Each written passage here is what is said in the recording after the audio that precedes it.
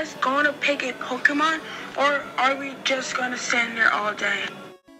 Fine, since you're so insistent, I guess I'll just pick Charmander. I already picked my starter Pokemon, so I guess that leaves you Bulbasaur. Nah, Bulbasaur's not that bad of a choice, I guess.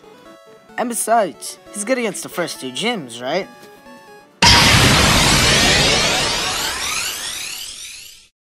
What the heck? Did Professor Oak just leave me with an empty Pokeball? What kind of joke is this? Professor Oak, uh, you kind of left me with an empty Pokeball and I would like the real one. Oh, right. Uh, well, you see, some other trainer came in here with green hair and, well, I guess he picked Bulbasaur. What? I know, right? Just think about it. If you had the option between Squirtle and Charmander, why the heck would you want Bulbasaur? Most likely for the type advantage. Ugh, but never mind that.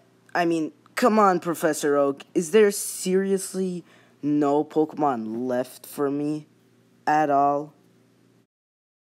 Well, technically, there is one. This, Mason. This Pokeball contains the electric mouse Pokemon known as Pikachu. And because it's my only Pokemon left, you can have it.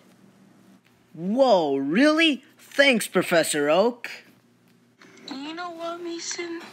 Pikachu's the right fit for you. Thanks, John. And I think Squirtle is a good Pokemon for you too. Because you're both blue and all. Anyway, come on, guys. Let's become Pokemon Masters.